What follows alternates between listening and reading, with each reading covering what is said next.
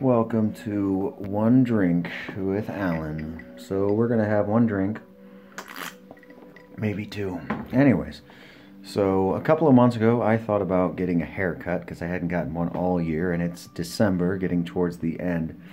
And uh, I go to the haircut place, and I haven't had one since January. Um, I don't know how everybody's getting a haircut that actually gives a shit about coronavirus, but never mind those mundane shit details for the time being. Anyways, I walk in there. I try to get an appointment, but the appointment wanted all this information I didn't want to give them.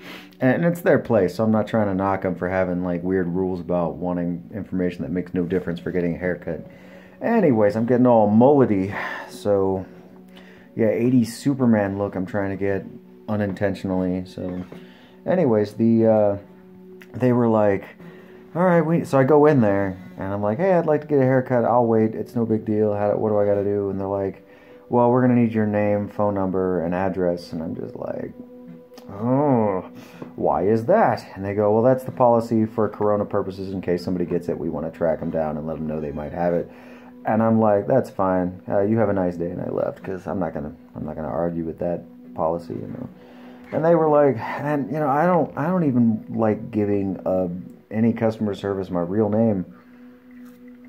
You know, I go to a place where I'm ordering a sandwich or a haircut, which is a much more relative example, and they're like, "Hey, what's your what's your name?" And I go, "Oh, my name's Rascarvonestir." Oh, how do you spell that? And they thought I made that up, Johnny on the spot every time. I go, "Oh, that's easy. That's R A S C A R V O N E S T I R." And they're like, "Oh, can you spell a little slower?" Sure. R A S C A R V O N E S T I R.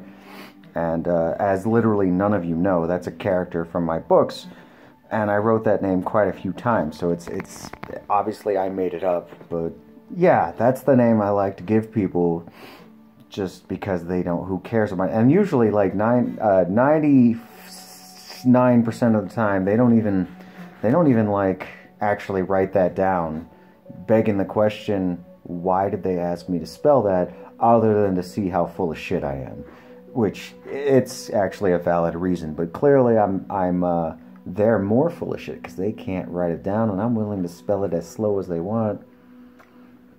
Anyways, so yeah, I want. Oh, so let's talk about Rascarvonestir for no reason. So Rascarvonestir is a red dragon, a pretty old dragon. In my series, basically, they are the only ocular enchanter in the entire multiverse. And what that means is they can enchant someone's eyes with various different abilities. You want x ray vision? Bam, no problem. You want to be able to see magic? You want to be able to see psionic stuff? You want to see through walls? You want, you know, see auras? And and many many other things and then eventually it's like here's true sight which is everything and nothing's going to fool your eyes unless it's just under ridiculous circumstances. Like, but Magic Eyes, I, I loved those. That was really fun to write about. And Rascarvonestir was the only dude who was like, "Yep, I can enchant your eyes," but it's very, very expensive. So they had a huge, as Red Dragons tend to go, they got a huge hoard of gold.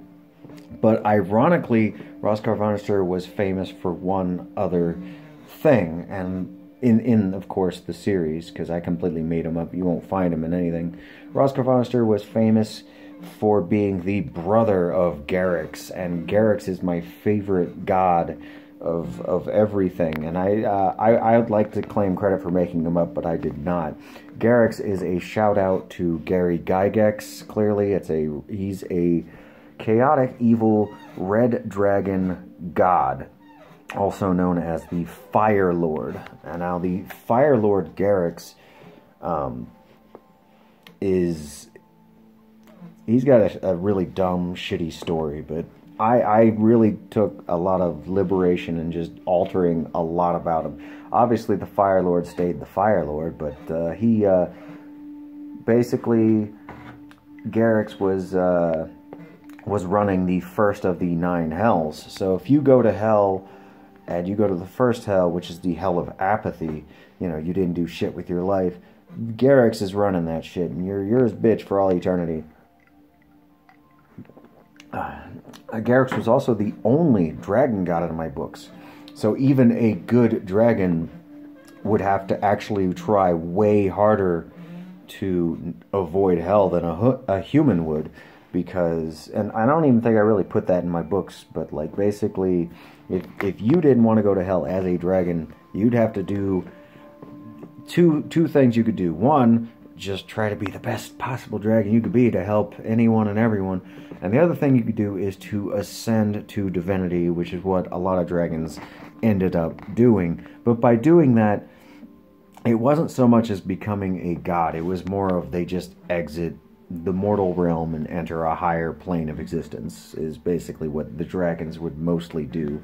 Very few actually became gods, and Garrux was the only one I bothered mentioning. Um, anyways, that's Roskar Vonister. Yeah. I just wanted to get a goddamn haircut two months ago. I can't even do that. I'm not done with this drink, so I'm gonna I'm gonna keep talking. So, fun little fact: I actually have an Eye of Garrux tattoo on my arm here. It's kind of hard to get it at a good angle, but yeah, it's there. I got it where I live here in Reno, but uh, yeah, and I even put that on on the cover of my uh, my seventh book because it's the Book of Garrux, and uh, so yeah, that was a lot of fun just writing that because I wanted to write that for years, and I was like, fuck it, let me just add this thing in there. But anyways, um, yeah, Garrux has kind of like a really lame backstory, so I had to really just ad lib a whole bunch of that because I wanted him to really just bolster up. And he ended up being like a major uh, antagonist to even like other antagonists. Like he ended up just like fucking everything up. Anyways, that's my little fun. I should have gotten a haircut, but I refuse to. Sound big old whiny pants because I don't want to just give them my name. They don't need my name at all. So if anyone knows someone in Reno who does haircuts, Southern Reno, because I don't have a car, um, yeah, let me know because I'm not going to tell you my name, but I could give you actual money for doing, you know fixing this this garbage. You know, it's whatever. I just got off of work, so that's why I look this way. Anyways, yeah, that's Rascarvonestir haircuts.